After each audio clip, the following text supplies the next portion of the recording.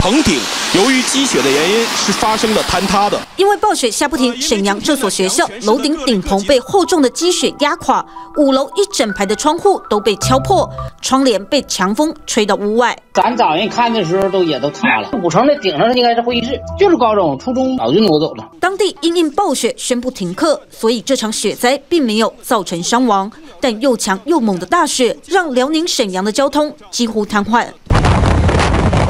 大连机场紧急关闭，官方派出将近三十台大型铲雪车不断清扫，在市区有公车开一半卡在雪里，动都动不了。坐那公交车要上班嘛，上班的车它起不来呀。完了，那个大伙不就呼吁说把这车推走了，咱们就都正常走正常上班了。同样饱受暴雪灾害之苦的还有内蒙古一间供暖公司，车棚承受不住积雪重量倒塌，钢架不但压毁多辆轿车，还把运输带卡住，造成两千多户民宅一度停止供暖。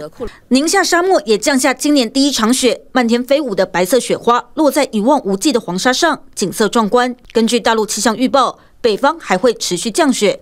目前疫情紧张的北京发布公告，封控地区清扫的积雪只能放在封闭区内，不能运出管制范围。TVBS 新闻综合报道，请支持专门报道国际新闻的全新 YouTube 频道 TVBS 国际 Plus，扩大视野，掌握趋势。邀请您订阅并且开启通知小铃铛。